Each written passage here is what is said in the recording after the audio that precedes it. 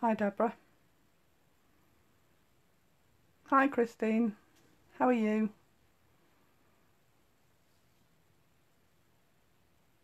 Hello Sarah. Nice of you to join me this afternoon. I'm hoping I can get this done before the thunderstorm hits, which we've been forecast to have, so fingers crossed. Hi Danny.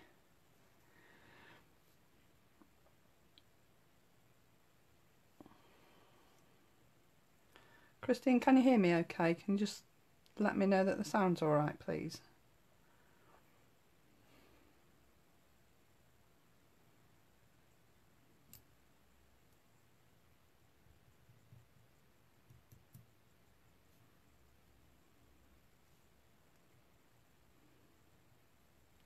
Hi Anne.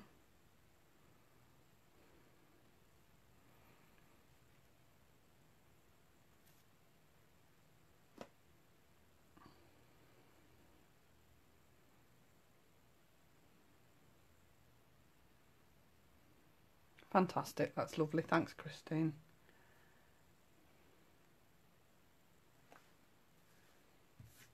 It's always my one fear that I'm sitting here talking to loads of people and nobody can hear me. So it's always a relief. I am, thank you.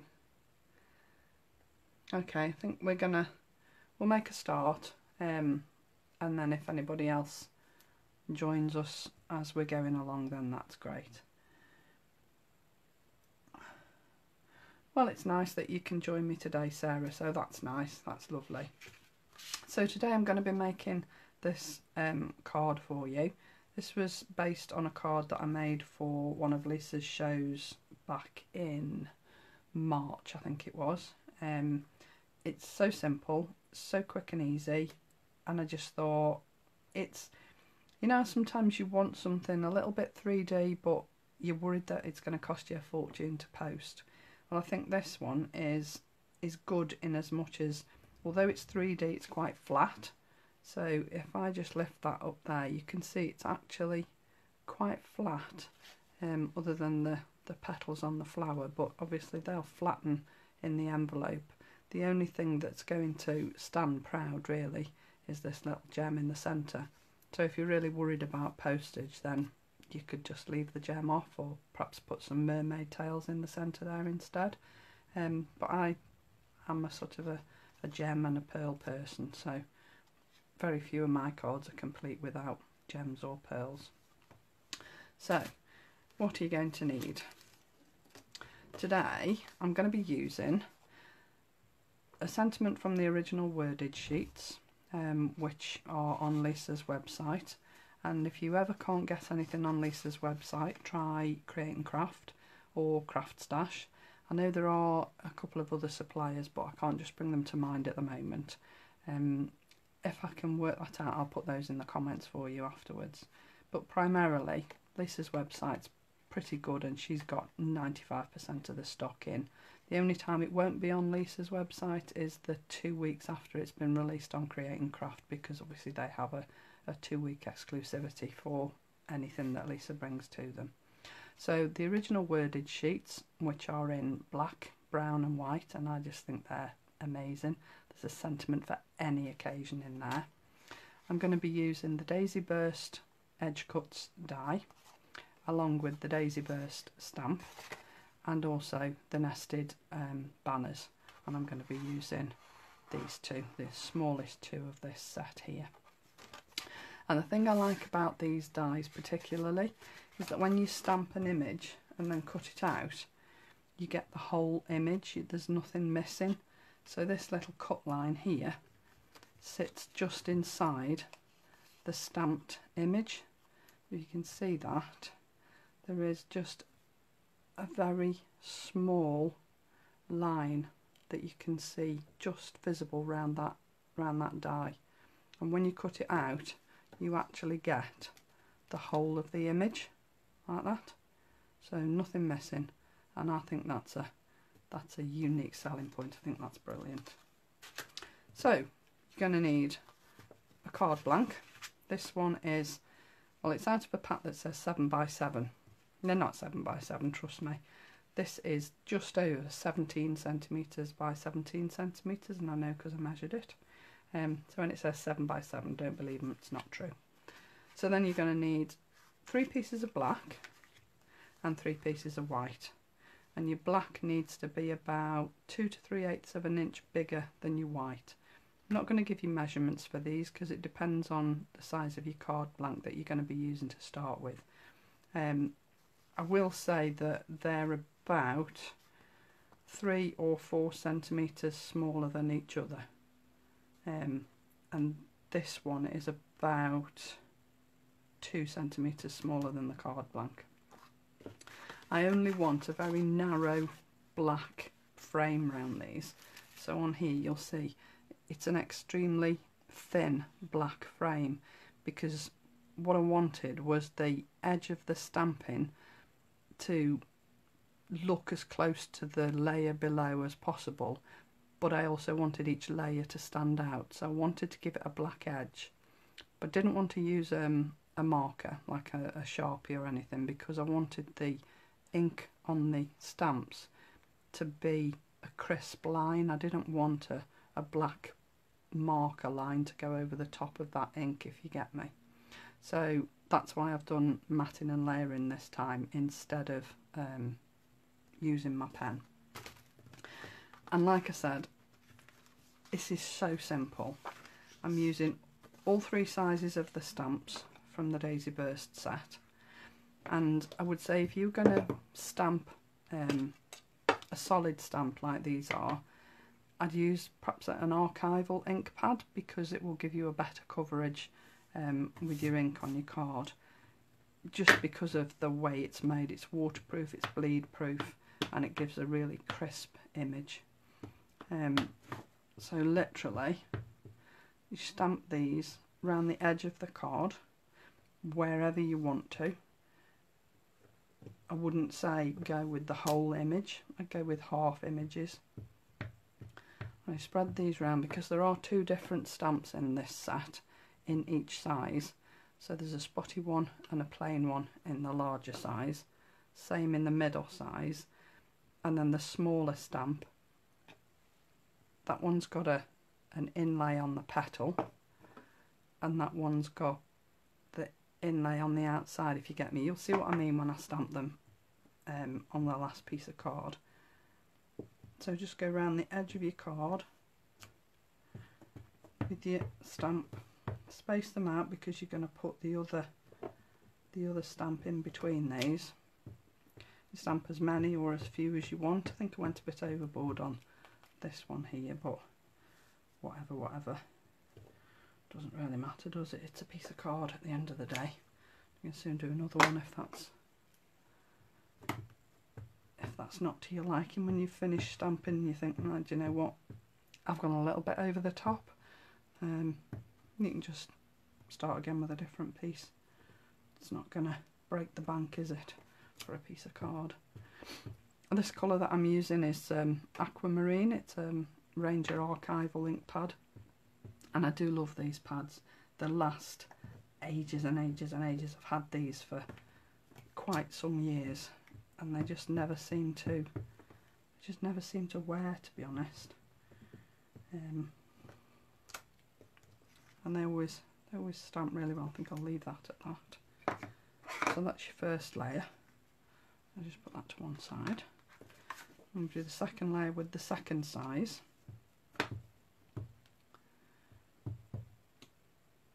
again basically all you're doing is going around the outside of the piece of card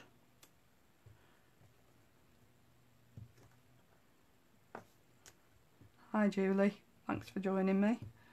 Doesn't matter if you're a bit late, you're here, better late than never. Hi Heidi. Love your little box off Nikki, that's really sweet isn't it? I've got one of those, but I haven't got a fairy door inside it. They are nice. Hi Natalia. So you basically just fill in your your card with your stamps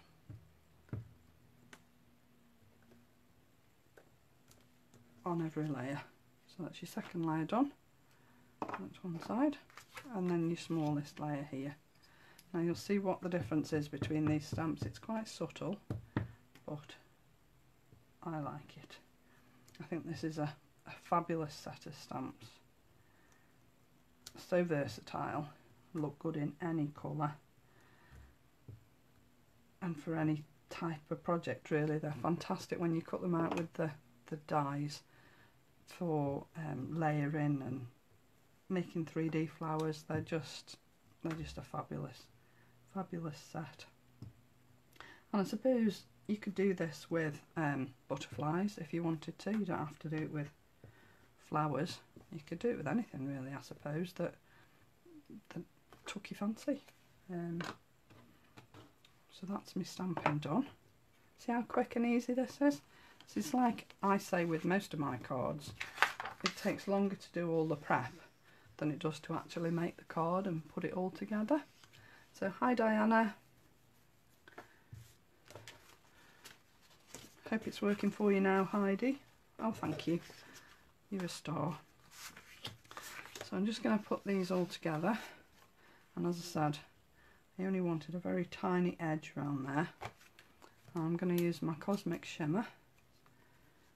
This is a nice blue isn't it Sarah? I sat this morning going through all my ink pads thinking what colour shall I use and I'd got two here. One was a fuchsia pink and one was this one and this one won out. So I'm just going around the edges on this card. Now I would normally go across the middle but this is Lisa's um, extra smooth stamping card which is superb. But I don't want any little glue bubbles or blobs because sometimes this can this can come out in a bit of a blob at times.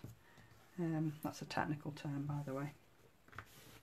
Um, and I didn't want that to show through on the card because it can do sometimes. So I'll just go around the edge. You won't need any more than that to be fair. So second layer.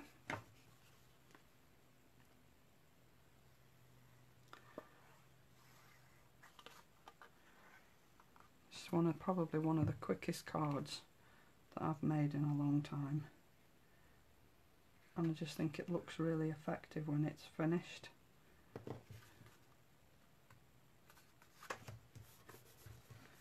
Very little stamping.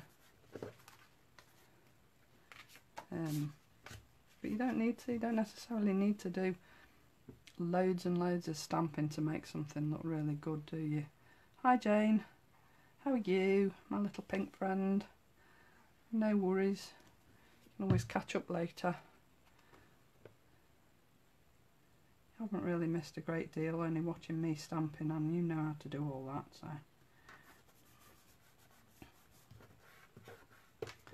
not that I'm saying everybody else doesn't of course.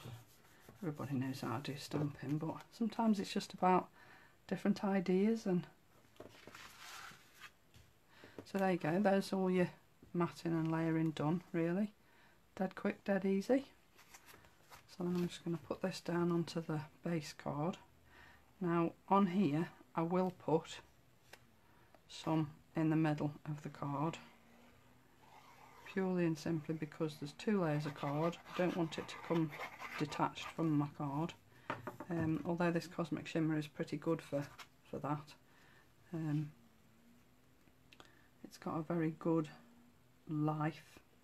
Know sometimes when you use double-sided tape the tape dries out and then your card can fall apart. And if you've made it for a, a special keepsake for somebody um, and then all of a sudden it falls apart when they get it out of their little memory box to show people. That's not very good is it? So this is this is my preferred option. Sorry Julie. I'll shut up. Um, it's all said in the nicest possible way you know.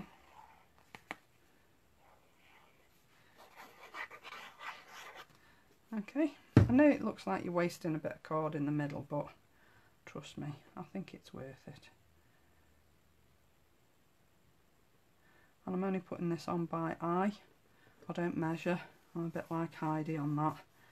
It takes too long to measure and make it dead accurate. I mean, that's the beauty of handmade, isn't it? That, you know, sometimes it might be a little bit off centre, but I don't really think that matters. As long as it's not dead wonky. Another technical term for you. Um, I don't really think it matters, to be fair. But I think with squares you're pretty safe, aren't you? It's pretty easy to line it all up and make it central.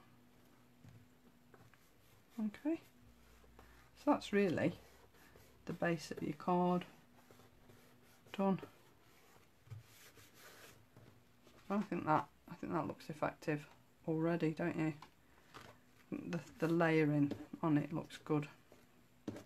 So then, as I say, I used the two smallest um, nested banner dies to make this, and I've stuck with just plain black and white because I wanted the black and white to fit in with the rest of the card.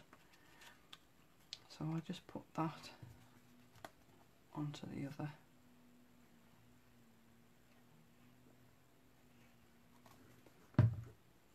that down there like that. And I just think these are, I love the stitching around the edge. Um, I just think it, it sets them off. I just think it's just those little finishing touches that that make Lisa's products stand out. Now I want this to go across all three layers. So I want it to just sit proud of this last layer here. So I'm only going to glue it to there where it sits on the edge of this card. Because I don't want to glue it all. I don't want to glue down every down every layer here. So I'm only going to glue this top bit so that it's in the middle of the and I know whereabouts it is because I want it to go over the edge of that third layer like that. It's about in the middle isn't it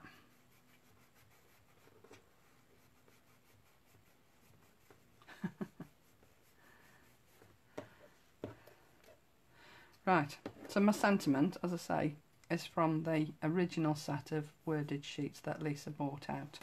Now, there are, you know, a lot of people do things like this, but these are the original wordage sheets, and I think they're just fantastic. There's a sentiment that will cover every occasion yeah, sometimes you want something a little bit different than a.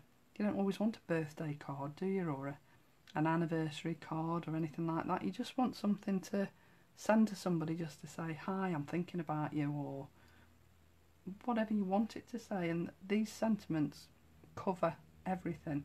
And this, don't overthink it, especially at the moment, I think is, is just perfect.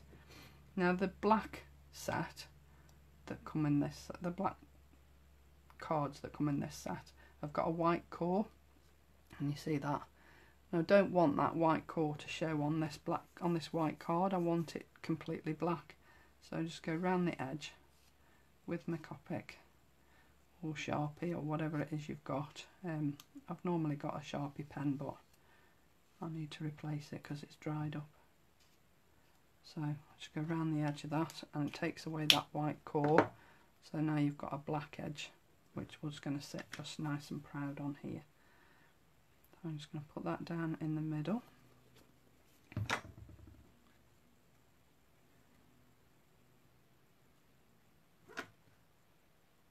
Like that. And then I'm just going to just literally ever so slightly shape these petals I don't want them massively shaped because obviously when it comes to posting they're going to go flat anyway but if you give them a little bit of shape when somebody takes this card out of the envelope the chances are it'll bounce back because this card is um, is so malleable it's just I just think it looks it gives a really good effect and again I've stamped these in the same ink to match these. Now it looks slightly different. not quite sure why. Um, although I am I am quite sure why that's a little bit darker because you know I said I was deciding on which colour to use and I stamped out the pink and I stamped out the blue. I did clean my stamp in between. The archivals do stain your stamps. Doesn't make any difference to how good they are, but they will stain your stamps. Um, but I think I probably didn't clean it enough. And this one, I don't know whether you can see it actually, is a slightly darker blue. And I think it's because there was probably a little bit of pink still left on the stamp. So it's actually come out a shade darker than the aquamarine, but I don't think it matters really. It's not to... I don't think it's glaringly obvious, is it? Well, it isn't to me anyway. But then my eyesight's never been brilliant, so... If it's glaringly obvious, then it's glaringly obvious. I'm not really bothered. It still looks good. And I'm happy with it, so... So just put that on the top layer on the bottom layer. And then put this flower so that it sits on the end of my nested banner like that. See, so quick, so simple. And then of course it's got to have a gem on it because it wouldn't be me if it didn't. And I'm using the flat back um, gems rather than the pearls because I, I tend to neglect these and I do love them. I just think they sit so beautifully. And just finishes a card off, don't you think? I just think it's I think it's just a, a nice way of dressing it up a tiny little bit. Um, just to make it that little bit special, really. Um, so there you go. It's dead quick, dead easy this Friday. Um, don't think I've missed uh, any questions. yeah, I, I, tend to go a bit meltdownish, Jane, as well. Um, and I, Heidi, I like to think I would make up blank cards um, and then add the sentiment, but I never do it. I always think, I'll, I'll do a few of these, and never happens. So there's always something that comes along and takes over, but um, I think you'll agree that they look I just think they look something a little bit different, something a little bit special. Um, might be a bit busy for some people, but just put less stamps on. Um, just use one in each corner or whatever you want to do. And like I say, if you want to use the butterflies instead of flowers, um, do that in, instead. If you have a go at this, please share it in the group. I'd love to see what you make with them. Um, can't wait to see then Diana. Um, I'm holding you to that. Make sure you share it in the group. I think you've got about a week left to enter the challenge. Um, my card today was going to be based on um, the challenge, but I, I got a little bit lost to be honest. I started it the other day and this was what I started with. So I started with Jane's circle in the middle and the border and these are from um, the Trellis Blooms stamp set that uh, Anne Ruffles drew. Beautiful stamp set. Um, and I got a bit carried away with the circles, as you can see.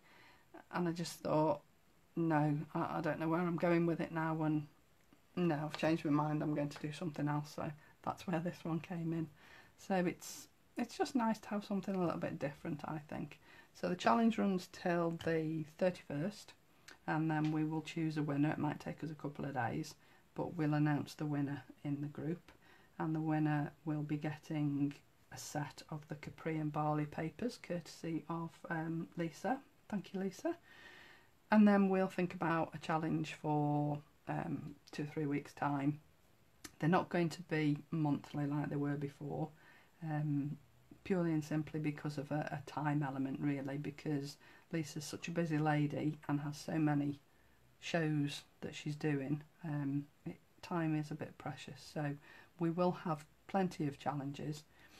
Julia, I haven't done particular measurements on this card, um, basically because you can you can do it to suit whatever card blank you're using. This is a supposedly 7 by 7 blank card. Um, it's not actually 7 by 7 it's just short of that. But I measured it in centimetres and it's just slightly bigger than 17 square in centimetres. So this one is 15 and a half, this one's 12, this one's 8, and then the black card is slightly bigger than those white pieces. But as I say, it doesn't really matter because it depends what card blank you're starting with in the first place. Obviously, all those sizes would change if you're using a 6x6 card blank. Um, so it's, it's just trial and error, really, deciding on what size you want your squares to be. Um, that's how I did it this morning when I made the, the original. Was just measured it out. And, and what I wanted to make sure of was that you could see enough of this stamp on the level below without you so that you knew what it was basically. Um, so I just I just cut it till I was happy with the width of this underneath each layer. Um, simple as that really. Didn't didn't really didn't really think about measurements just wanted it to fit. Um, yeah I've done one in green Jane. I've not done one in pink. That was my other colour choice for today but I decided to go with this one um, so do make a pink one. Um, I think you've got these stamps, haven't you? But use any stamp. Um, but put it in the group afterwards if you use Lisa's products. Um, love to see what you do, especially if it's pink. Um, and yeah, it'll look great in any colour really. Don't forget the YouTube channel. All the lives go onto the YouTube channel at some point. Um, and Lisa's uh, updates uh, will be on there as well. Um, and I think that's about it really. Don't think I've got anything else to, sh to share with you. Don't forget Lisa's on Create and Craft next Tuesday. I'm not sure whether it's one big show or two small shows at the moment. Um, but I do know that you are going to love what's on. So be there, miss it, miss out, because it's amazing. You're going to love it. So I think that's about it from me. I'm going to love you and leave you. Enjoy your weekend. Um, not sure whether there's any lives on over the weekend. I think Jane might be doing one on Sunday, but it depends on her work shifts.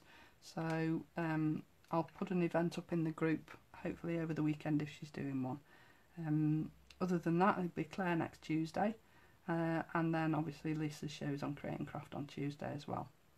So enjoy your weekend. Thank you very much for joining me. Hope you enjoyed the demo, and I'll see you again next Friday at 3 o'clock. Bye.